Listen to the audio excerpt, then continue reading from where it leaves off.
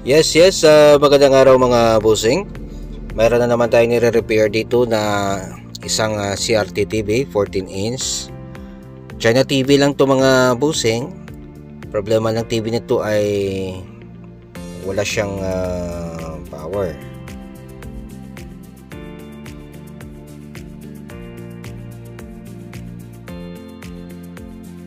Sige, uh, buksan natin to at uh, tingnan natin sa loob kung uh, anong sira nito.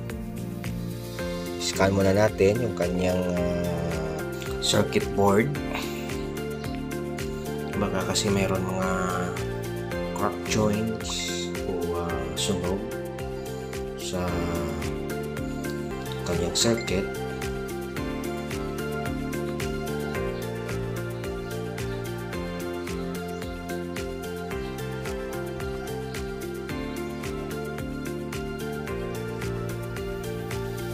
Dahil wala siyang power mag uh, concentrate muna tayo sa kanyang uh, um, power supply. Check natin yung kanyang uh, fuse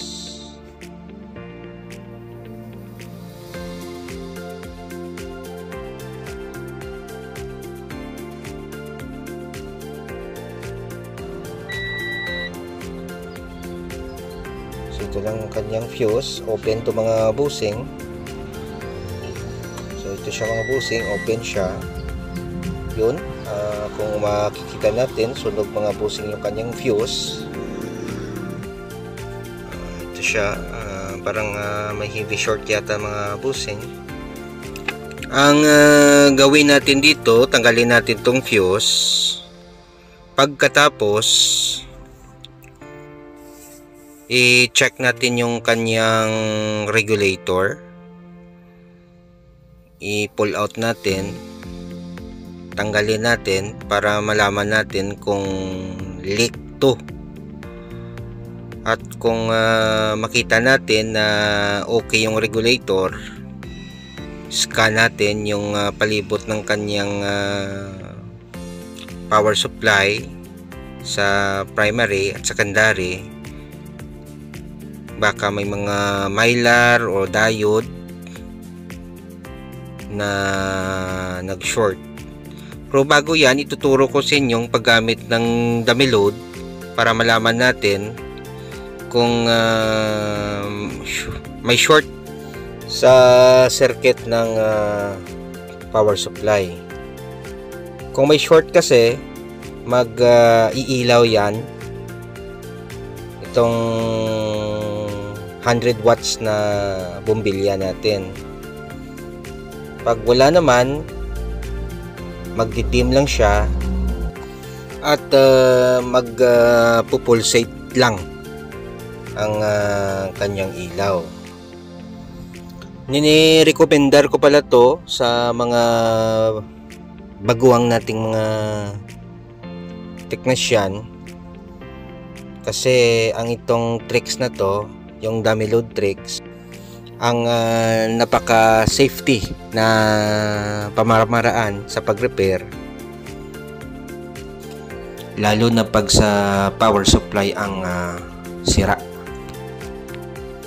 May mga ibang uh, technician na uh, kasi na nakita na sabog yung fuse.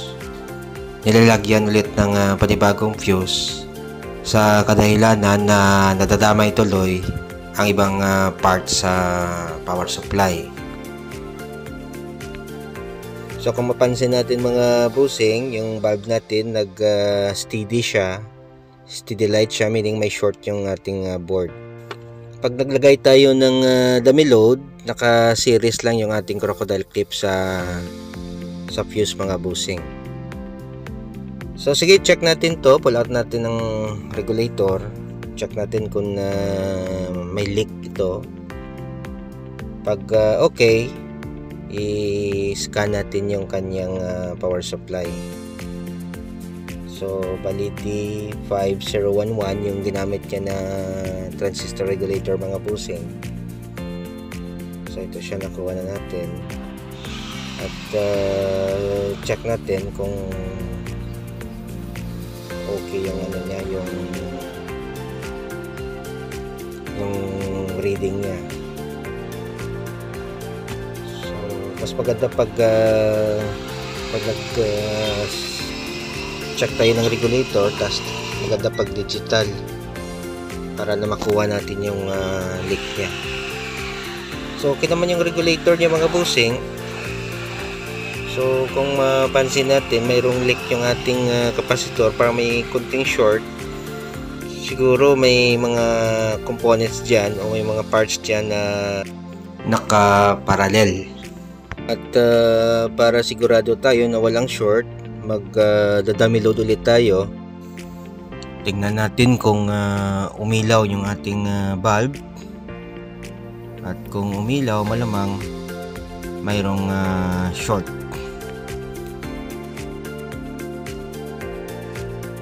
I-plug na natin.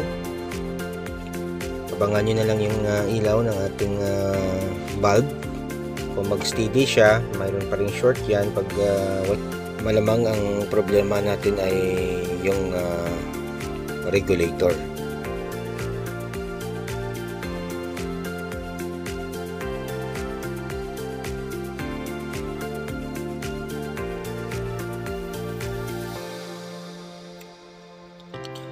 Yun mga busing, umiilaw pa rin yung ating uh, bulb umiilaw siya dahil mayroon siyang uh, nadetect o na-absorb na short sa circuit. Kung mapansin natin mga busing, mayroon tayong nakita na isang uh, sunog na kulay blue. Mylar yata to. Hindi ako magkakamali, 2 kilovolts yata to. Hindi ko lang uh, hindi ko lang malaman kung anong uh, value nito. tanggalin natin to pagkatapos mag uh, uh, dummy load ulit tayo. Tingnan natin kung uh, umilaw pa yung ating uh, bulb. Pero kung mag uh, didim na lang siya meaning uh, wala nang short sa power supply sige mag uh, tricks ulit tayo Uh, tingnan nyo na lang mga busing sa description kung paano ang uh, paggamit ng uh, dummy load at ang uh, paggawa nito. Ito kasi ang uh, safety na pamamaraan sa pag-repair lalo na pag uh, power supply yung sira ng isang uh, unit.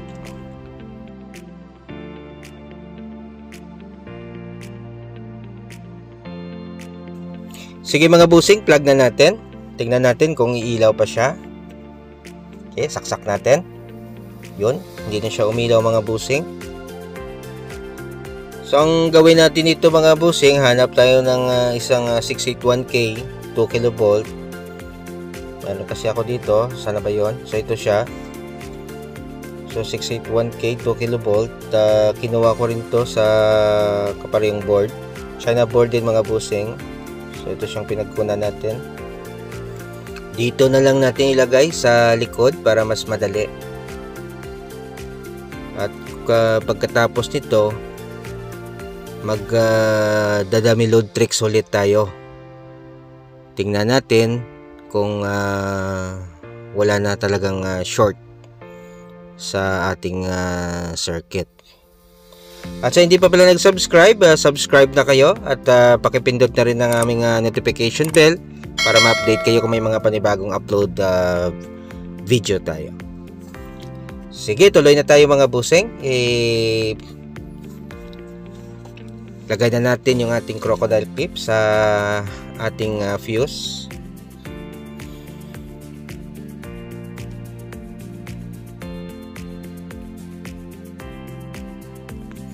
Observe lang natin yung ating uh, bumbilya mga busing kung uh, may ilaw pa.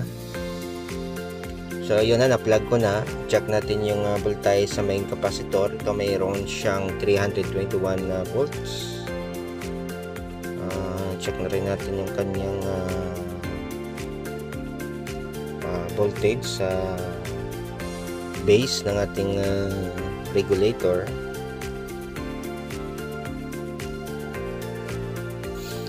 So, ito siya, mayroon siyang uh, 0.8 volts uh, 1.2 uh,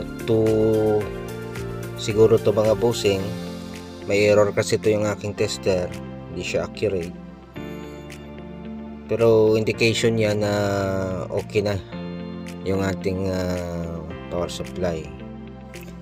Ikabit na natin ulit mga bossing ang ah, kanyang ah, regulator transistor pagkatapos nito mga bossing magdadamilod tricks ulit tayo tingnan natin kung magdidim na yung ating bubilya sige try natin plug natin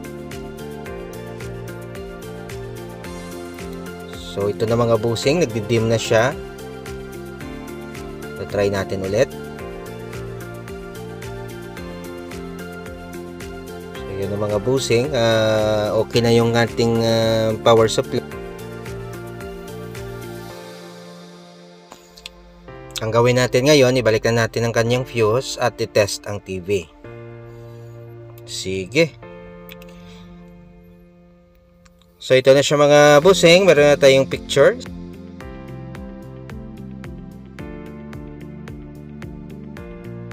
Observe na lang natin.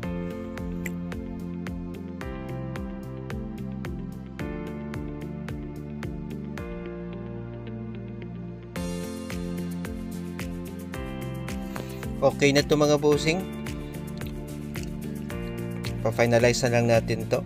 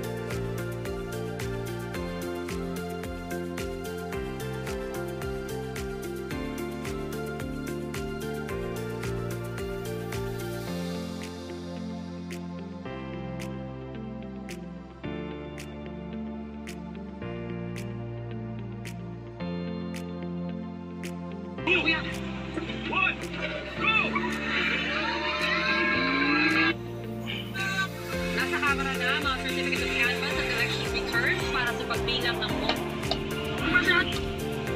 Target ng Kongreso na maiproklama ang mananalo bago matapos ang Mayo. Nasa front